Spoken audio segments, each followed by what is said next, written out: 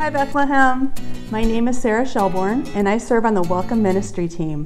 Our goal is to live out one of Bethlehem's best known mottos all are welcome.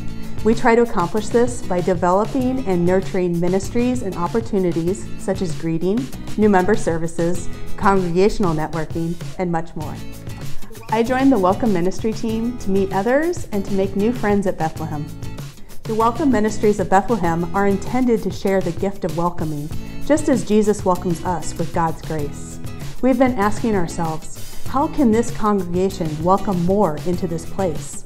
And how can we be even more hospitable to the people of Bethlehem, to newcomers, and to those out in the community?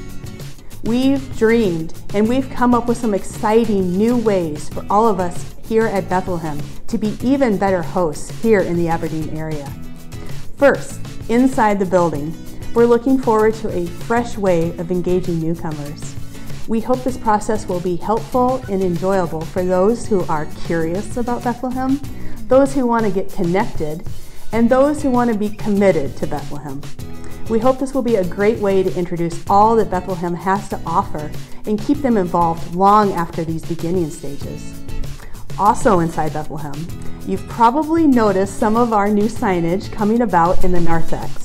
We hope to bring more of these bright colors and helpful verbiage to our high traffic areas to direct new and returning individuals to the right places and information. We also plan to connect local college students with people at Bethlehem to provide a support system while they may be far from home. As many of us have experienced, it can be difficult to find a church home or even just a place to turn when you're on your own for the first time.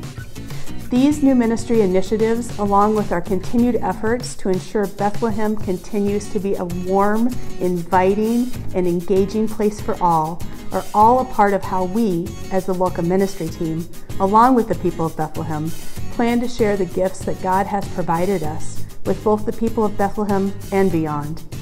We hope you enjoy hearing from the other ministry teams about their plans for 2022, and we hope you'll consider supporting these exciting new opportunities. Thank you for sharing the gift of welcoming.